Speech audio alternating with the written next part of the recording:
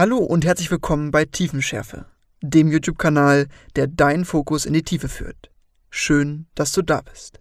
So, liebe Freunde, einen schönen guten Morgen. Es ist mal wieder Zeit, ein bisschen vom Leder zu ziehen. Wir fangen mal ganz piano an. Ich bin erfreut, dass das, was ich gepostet bekomme von meiner Frau, dass das so großen Anklang fand.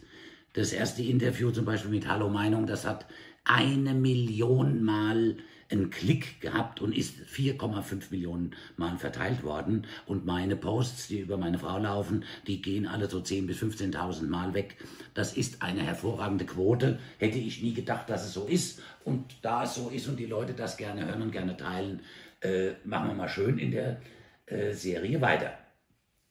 Worum es mir heute geht, was wir in den letzten drei Wochen, seit das letzte Post war, gehört haben, also ich habe halt auch keine Lust mehr irgendwas zu sagen, weil ich kann gegen diese Gehirne in der Politik äh, nichts mehr machen. Die machen einfach weiter, obwohl sie von jeder Menge hochkarätiger Professoren äh, auseinandergepflückt werden. Und mittlerweile sind es im Internet und äh, was ich so von meinen Kollegen höre, Zehntausende von Ärzten, ja, die an der Front täglich mit Patienten zu tun haben, die diese Zahlen, die die veröffentlichen, überhaupt nicht mehr nachvollziehen können. Ja, da stimmt hinten und vorne nichts. Alleine, wenn ich das höre, da steht der Ministerpräsident von Bayern vor Mikrofon ohne Maske und sagt, ja, wir wollen auf gar keinen Fall in Deutschland oder in Bayern eine zweite Welle wie in Hongkong, in Singapur, nee, Hongkong hat er nicht gesagt, aber wie in Singapur und in Schweden. Hä? Es hat in, weder in Deutschland noch in Singapur noch in Schweden jemals auch nur einen Ansatz einer zweiten Welle gegeben. Es gab schlicht und weise keine. Ja, die Erkrankungen laufen alle so und berghoch und dann geht's runter und genauso war es in Singapur, genauso war es in Schweden. Die Zahlen gehen runter, genauso wie bei uns in Deutschland die Zahlen permanent nach unten gehen. Es gibt erheblich weniger Tote und es gibt immer noch ein paar Infizierte. Ah ja, mein Gott, Infizierte.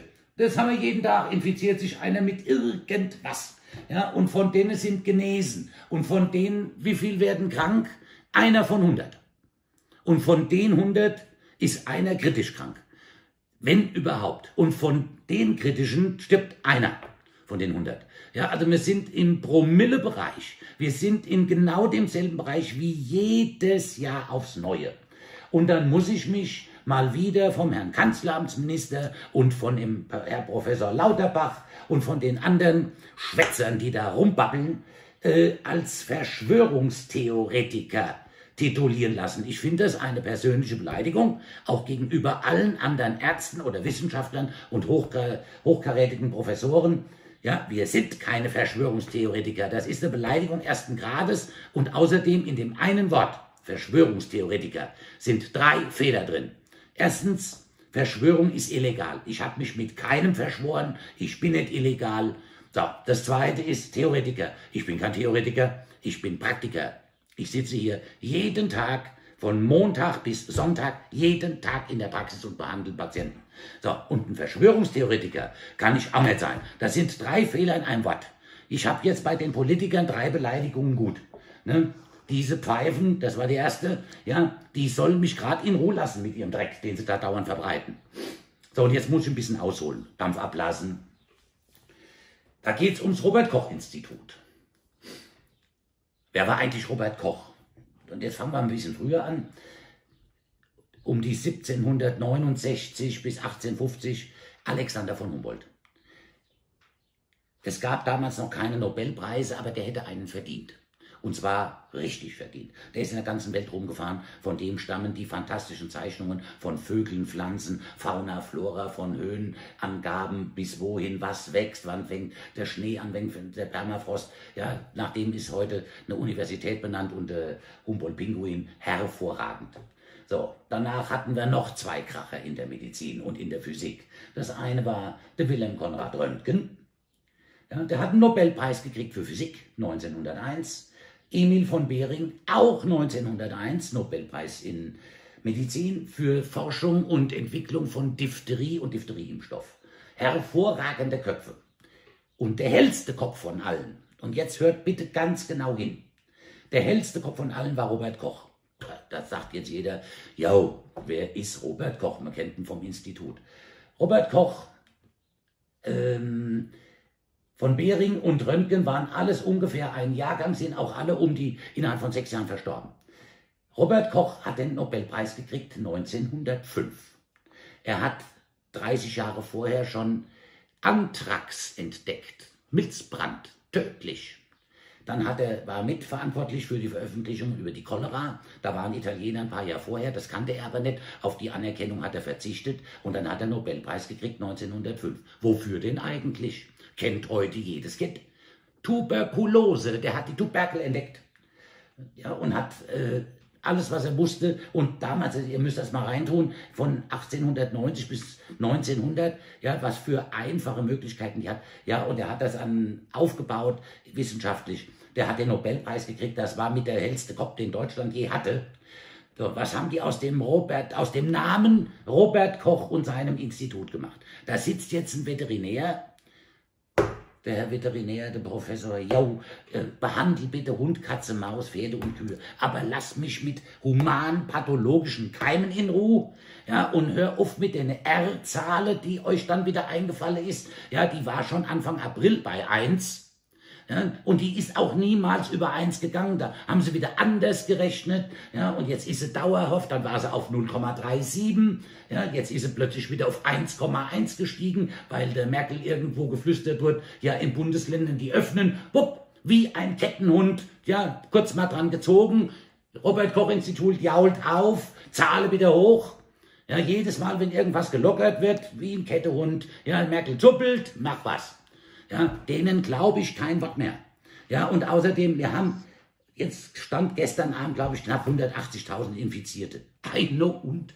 Wir haben jeden Tag irgendwelche Infizierten, die sich mit irgendeinem Bakterium, irgendeinem Virus, irgendeinem anaerobe, also so, so sauerstofflose äh, Dinge infizieren.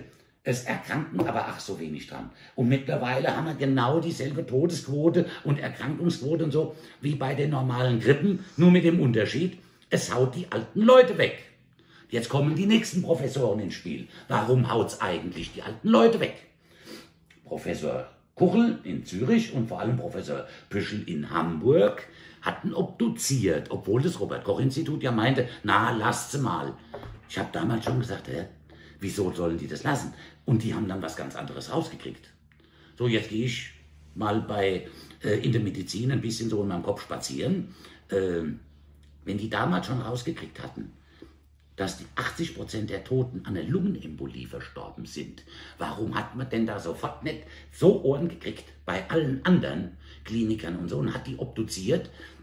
Vielleicht hätten dadurch tausend Tote erspart werden können der Bevölkerung. Das ist schlimm, dass sie gestorben sind. Aber man hat dann gesehen, man geht eben in den gerinnungshemmenden Medikamenten doppelt so hoch ja, und dann sterben die nicht mehr. Denn da waren einige dabei, die wurden eingeliefert, die waren schon stabil, Fieber ist schon nach unten gegangen und plötzlich morgen sind die tot.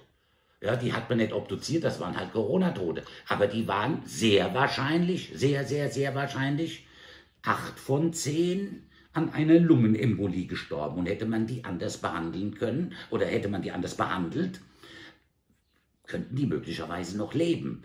Und jetzt kommt wieder so ein Ding ins Spiel. Das heißt, da wären ein paar Todesfälle vermeidbar gewesen. Wer steht denn für die gerade? Normalerweise müsste doch jetzt mein Rechtsempfinden die Generalbundesanwaltschaft oder Staatsanwaltschaft oder wie sie auch immer heißt, von Amts wegen her ermitteln. Warum haben die eigentlich nicht auf die zwei Professoren gehört? Die hatten ja miteinander überhaupt nichts zu tun. Der eine in Hamburg, der andere in Zürich. Ja, und der Züricher hat das bestätigt, was der Hamburger festgestellt hat. Ja, wenn wir irgendjemand umbringen, da wandern wir 15 Jahre in den Knast. Ja, und da sind vielleicht 100 oder 1000 Tote, wenn es nur drei sind, die man hätte verhindern können. Wird das als normaler Schwund an der Front angesehen? Das kann doch nicht sein. Wir stehen für allen Scheiß gerade, wenn wir nur ein falsches Antibiotikum verordnen und die laufen da straffrei rum, ja, weil sie irgendwas Falsches entdeckt haben oder Falsches äh, erzählt haben. Des Weiteren, die äh, Professoren Bhakti, ja, der Professor Willig von der Charité und Professor Zastro Char äh, Charité gehen mittlerweile auf den Professor Drosten von der Charité los. Ja, da, und das ist ganz einfach, der sitzt im Labor und guckt in sein Binokularmikroskop und die anderen sind Hygieniker und Infektiologen und Epidemiologen. Die gucken sich die Krankheiten an und was passiert und siehe da, es gibt keine zweite Welle, die Werte gehen runter, ja, es wird gelockert, ein Maskenzwang, ja, da kann man drüber reden, ob man sein eigenes CO2 dauernd einatmen soll oder nicht. Aber der schützt wenigstens, dass die Keime nicht fünf Meter fliegen, sondern nur 30 Zentimeter. Das ist ja auch was, obwohl sie einfach lästig sind. Aber wenn ihr einen Maskenzwang habt, dann bitte auch im Oktober, November wieder, wenn die Grippe anläuft. So, das war das eine. So, die erste Welle haben wir gesagt, der Impfschutz. Oh, jetzt kommt das nächste Ding. Dem Schutz. Sie wollen uns also weismachen, sie stampfen, obwohl sie die, die Viren schon seit 60 Jahren kennen. Jetzt ist einer von den Viren da aus dem Wuhan-Labor ausgebüxt. Warum auch immer. Wir werden es nie erfahren, weil kommunistisches Land. So, jetzt haben sie plötzlich innerhalb von fünf, sechs Monaten den Impfstoff gegen das Virus. Normal, hä?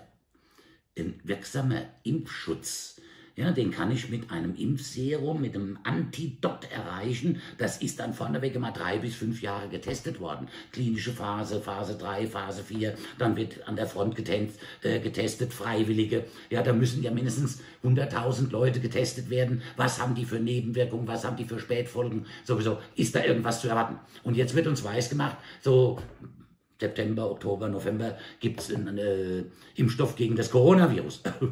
Im November, da, da brauche ich mal Grippeimpfung. Ja, der Tetra, äh, mit, mit allen möglichen Sachen. Da kommt die Grippe um die Ecke. Und dann braucht er mir nicht erzählen, wir hätten eine zweite oder dritte Welle von Corona. Ja, das sind dann wieder die Influenza-Viren. Wie jedes Jahr pünktlich auf die Minute, ab Mitte Oktober geht's los, sind die Leute erkrankt. So, das war das. Jetzt hoffe ich eigentlich, dass ihr das viel mehr postet, wenn ihr könnt, liebe Leute und Interessenten.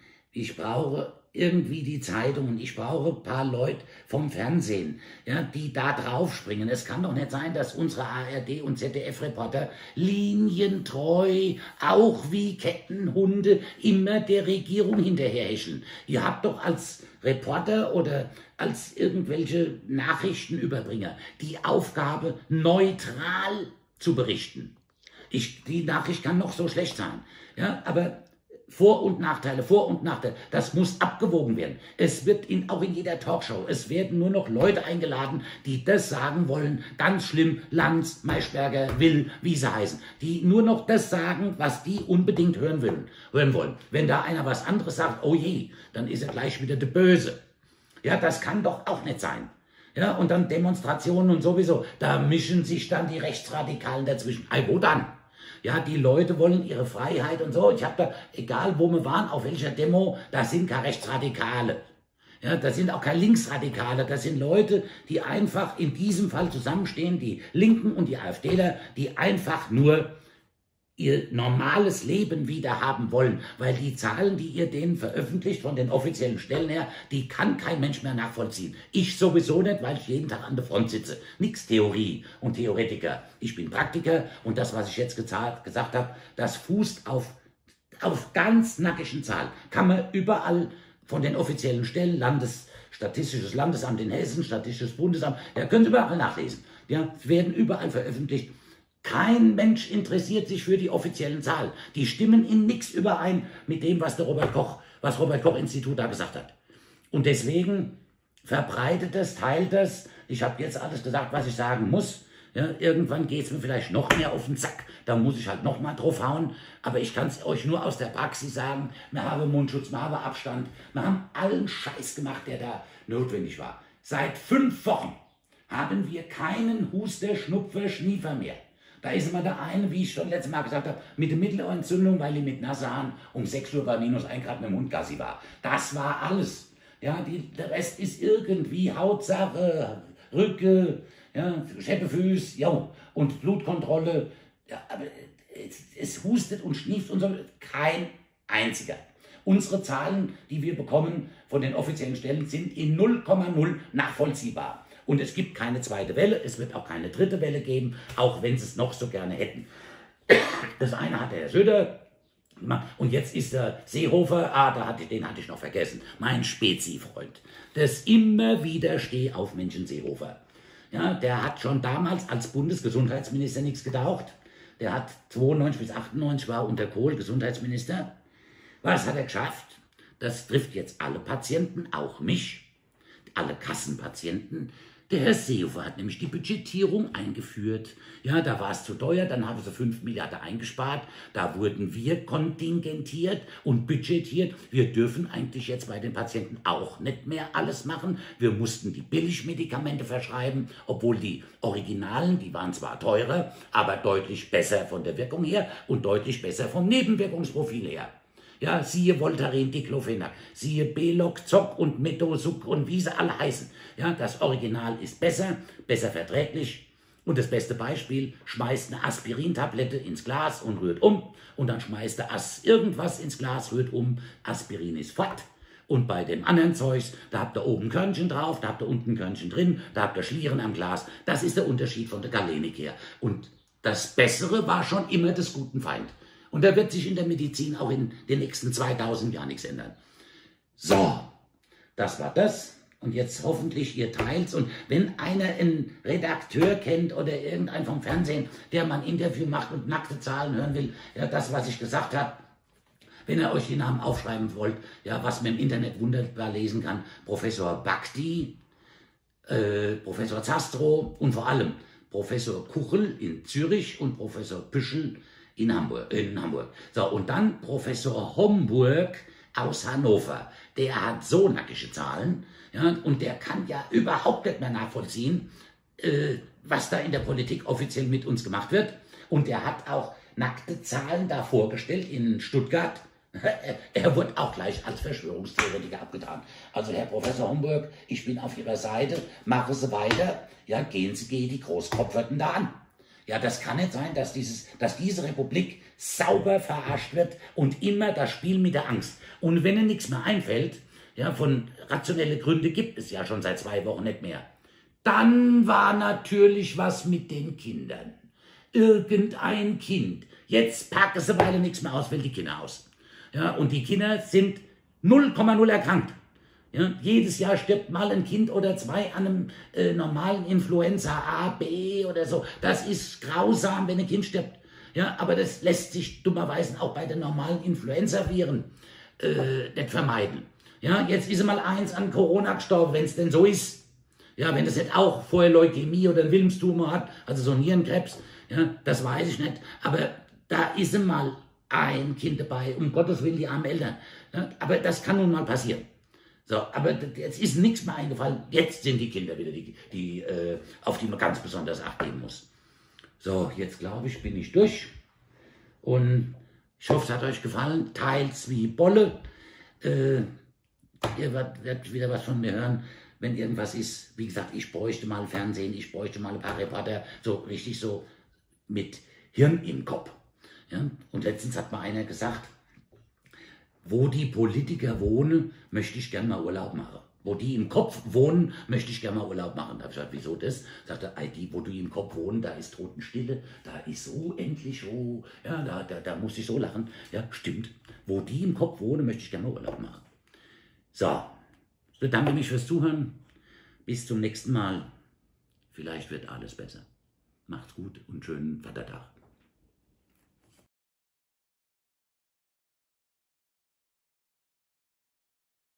Tretet gerne unserer Telegram-Gruppe bei, um nichts mehr zu verpassen.